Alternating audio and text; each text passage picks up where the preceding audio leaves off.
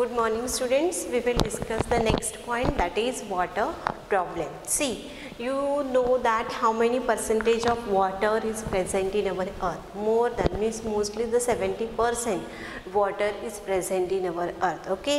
But even though we are getting the shortage of water, why? What is the reason? See water is a present. More water is a present on the earth.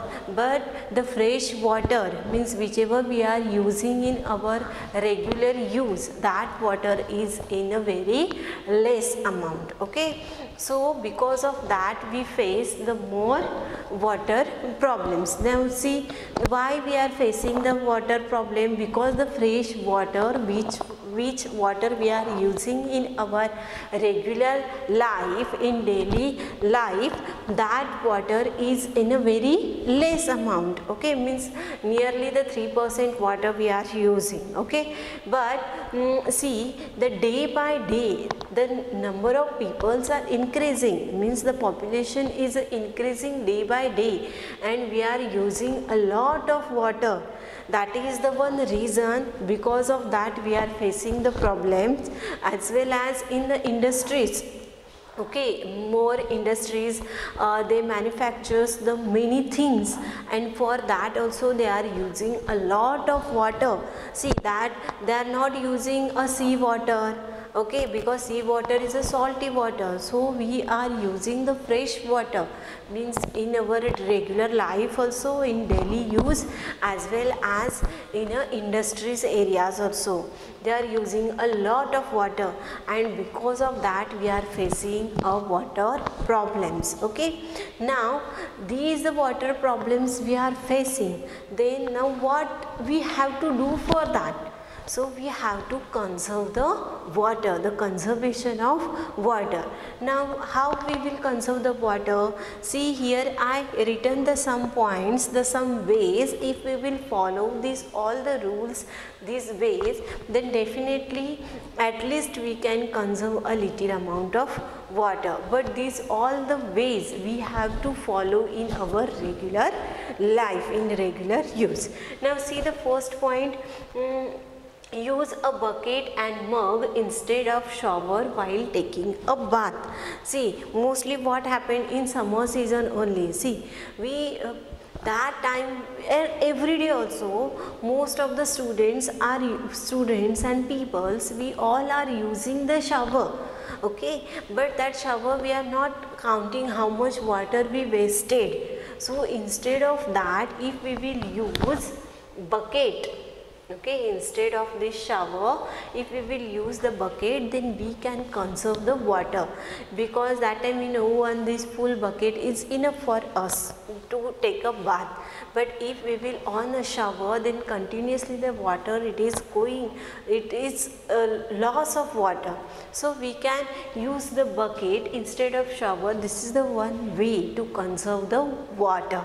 Okay? Now see the next point Close the taps tightly after using they both at home and school. Means see close the taps. See sometimes what happened uh, mostly uh, mm, uh, early morning what we are doing the brush okay that time we are doing brush and the taps it's on only then see how much water is wasted in that okay and sometimes what we are very in hurry and that time we mm, on only uh, taps and the water loss. So that we have to take care of that. Means at home also and in schools also. What? Close the taps tightly after using them both at home and school. Okay? This is the second way. Now third what we will do avoid cleaning utensils under running water.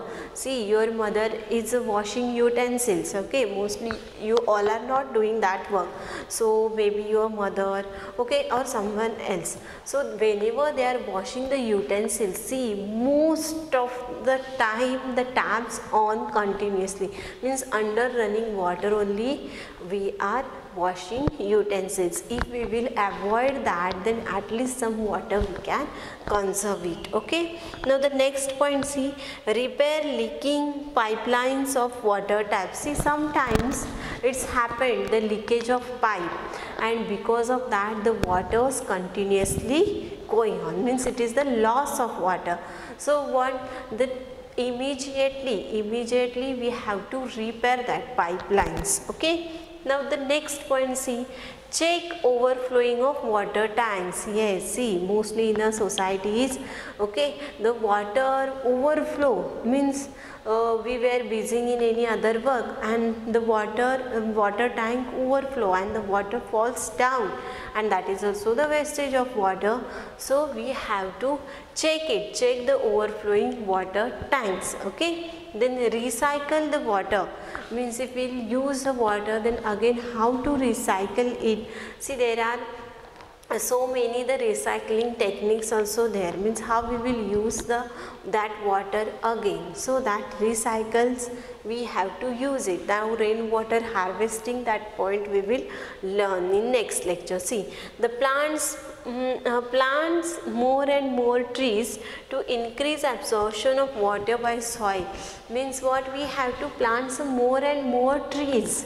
Why? Because the roots hold um, waters okay? They absorb the waters.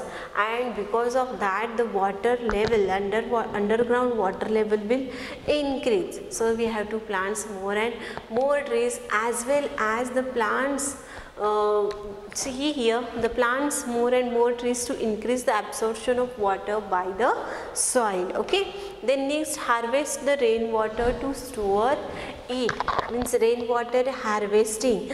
Now there are the two techniques it is given in your your textbook that how to do the rainwater harvesting.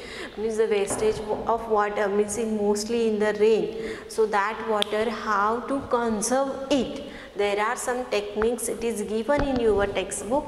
That techniques we will learn in next lecture. So do you understand the water problems? And if the water problems arise every day okay water problems arise then how to uh, do the conservation of water? Because of that the water problems will not arise in the next means mostly in the summer season mostly the water problems arise okay? So these are the some ways to conserve the water. If we will follow these all the ways then definitely we can conserve at least a little amount of water okay? So now the next point that is the rainwater harvesting that we will learn in next lecture. Thank you